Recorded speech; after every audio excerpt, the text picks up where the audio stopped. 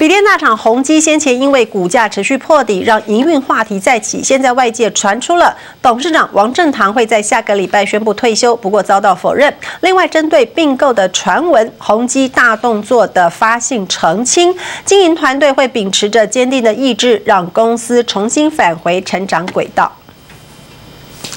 品牌厂宏基大手笔找来好莱坞明星梅根福克斯代言，狂砸行销就买气，但还是没能见效。累计前八月营收两千四百零五点二六亿元，年减百分之十六点二七，营运陷入风暴，经营话题再起波澜。法人圈更盛传董事长王正堂将退休，进而牵动高层改组。第三季跟第四季 PC 啊。